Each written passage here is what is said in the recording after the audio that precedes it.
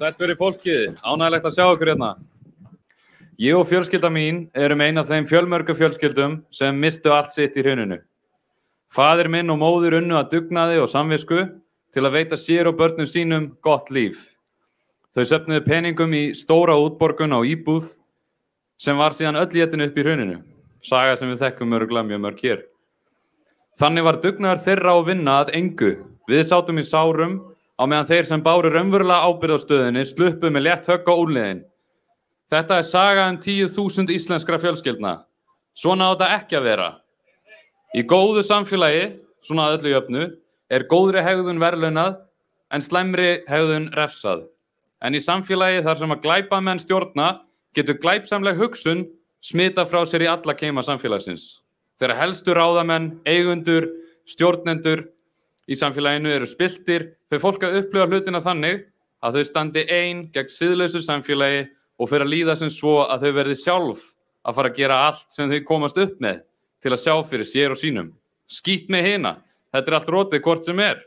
Við verðum að snúa þeirri þróun við. Heldur betur. Það er ekki bóði.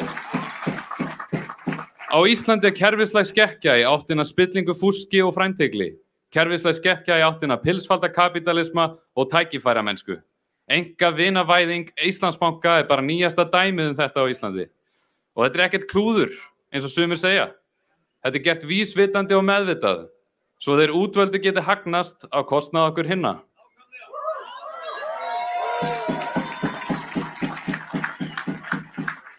Og hvernig eru þeir útvöldu valdir? Jú, það, það er fólkið sem er á réttum stað og réttum tíma. Þeir sem hafa með einu bólabræði eða öðru komið sér að borði. Þetta fólk er ekki einstaklega samviskusamt, duglegt, gáfað eða hæft. Það er frekara, siðlausara og betur tengt en við hinn. Það er, það er einfalda ástæðan fyrir því að þau fá ekki að kaupa í lokuðu útbóði ríkisins en ekki við hinn. Fag fjárfestar, líkt og Þorstedt Már, sem arðrændi fátaka Afrikuþjóð, sem er nýbyrðið að rétt úr sér fótunum eftir 100 ára ógnarstjórnun og nöðgun Vestalanda, fara að græða feitt á sölu Íslandsbanka þegar hann ætti að setja í fangelsi í Namibíu.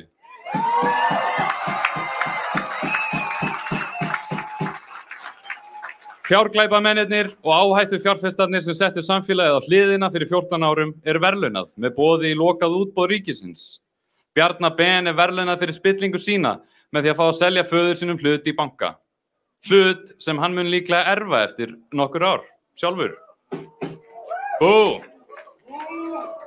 Hvar verðum við sem samfélag eftir 20 ár með þessu framaldi? Ætlum við að leifa gangsterisma líkt og þessum að vaksa á dafna? Nei! Ætlum við að leifa glæpamönnum yfir okkur á drotna? Nei! Við eigum ekki að sætt okkur við hennan farveð sem við erum komin á. Það eru miklu betri valkostur í bóði. Við eigum nýja stjórnarskrá.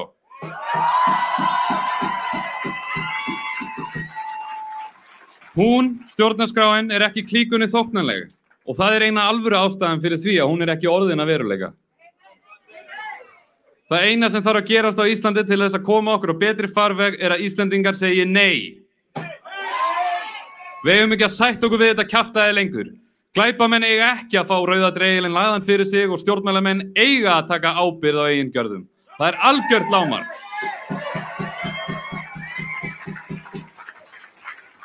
Stjórnmálamenn líkt og Katrín Jakobsdóttir sem auglýsa sig sem framsækna og heiðarlega stjórnmálamenn verða að vera samkvæmur sjálfum sér eða víkja á brott. Of ofta á Íslandi ganga nýjir stjórnmálaflokkar inn í samstarf með sjálfstæðisflokknum eða sjálftökuflokknum eins og ég vil laga köllum hann og halda þá annarkvort að þau fái eitthvað að sínum málum framgengt út í því eða eru einfallega hungruð í völd og stöðu. Eins og augmundur Jónasson skrifaði flott um daginn. Viljinn til þess að hafa áhrif verður að vilja til þess að komast til valda. En ef ásæknin í völd verður of mikil verða áhrifin engin. Það er nefnilega nákvæmlega það sem hefur gerst við Katrín Jakobsdóttir. Ég skora á hana að taka ábyrða á eigin ráðhörum. Það er aldrei á seint að gera það sem er rétt.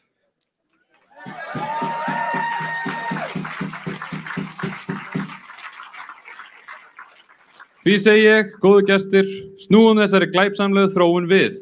Það eina sem við þurfum að gera er að halda áfram að mæta á Östuvöll og draga alla með okkur. Mikill meiri hluti samfélagsins sér beint í gegnum þessa vittlisu og við fáum þið bara með okkur næst.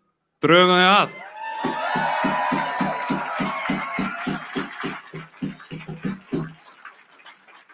Bjarni Ben og fagfjárfestanir, fagfjárfestar, vilja ekkert meir en að við fyrir að gleyma þessu og að fólk fara að tala um eitthvað annað. Ekki sjens! Þau eru komin langt yfir línuna og þess vegna draugum við línu í sandin. Aðra. Krefjumst þess að ríkistjórnin taki ábyrð á gjörðum sínum. Krefjumst þess að Bjarnabenn verði vikið úr embætti.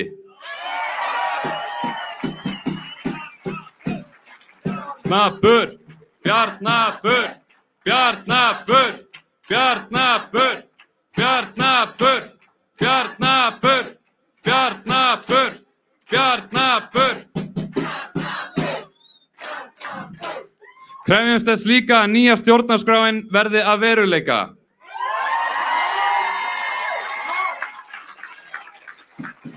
Krefjumst þess að samfélagið okkar sé réttlátt. Við getum gert svo miklu, miklu betur. Takk fyrir mig.